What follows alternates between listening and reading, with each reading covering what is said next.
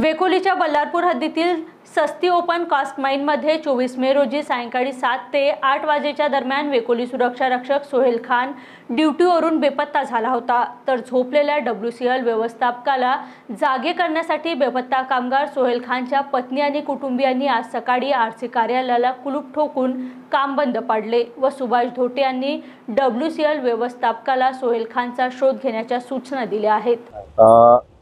शुक्रवार की रात को नाइट ड्यूटी पे सोहेल खान नामक सिक्योरिटी का एक एम्प्लॉय था, जो उसकी ड्यूटी के दरमियान माइन से लापता हो गया है।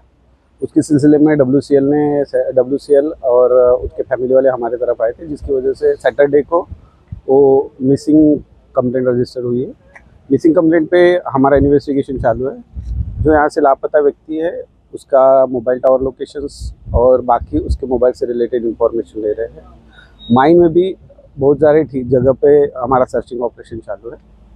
सास्तीच्या ओपन कास्टमध्ये मागील तीन चार दिवसापासून सोहेल खान नावाचा जनरल मजदूर ड्युटीवर गेला असता तो अचानक ड्युटीवरून घरी वापस परत जाऊ शकला नाही. त्यामुळे त्याची पत्नी त्याची आई त्याचे सगळे कुटुंब चिंताग्रस्त झालेले आहे. आज आम्ही इथं स्वतः सास्तीच्या ओपन कास्ट सवेरिया ओपन कास्टमध्ये मी भेट दिली असता.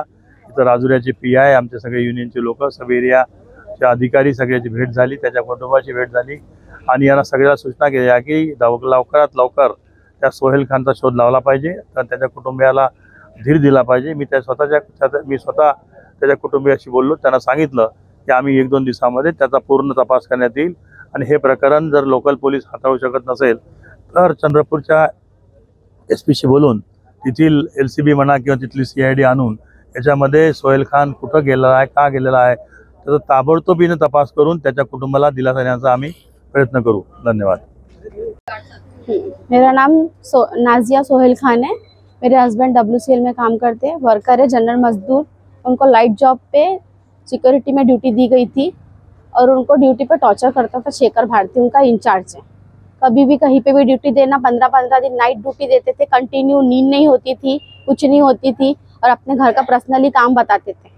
बहुत रिक्वेस्ट करे कि वहाँ से मेरे को हटा दो और उनके नेता को भी बोला गया जाहिद भाई को कि मेरे को यहाँ से हटाओ। टाइम पास करते थे बस ये लोग। छह सात महीने से टाइम पास कर रहे थे। रघुवीर सर के पास जाओ सर वो मिलते नहीं थे छुट्टी पे थे रहते थे कभी भी एनी टाइम कितने बार रिक्वेस्ट करने पर भी नहीं कुछ भी काम हुआ। तो ऐसा हादसा हो गया उनके साथ। ड्यूटी पे आए हैं वो तीन बजे हाजिरी लगाए उन्होंने और वो गए हैं। गार्ड के साथ, उनके साथ तीन जन थे आधा आधा किलोमीटर की दूरी पे तीनों जन को बिठाया गया और ये गार्ड के साथ थे। और कोई गवर्नमेंट का सर्वेंट वहाँ पे नहीं था।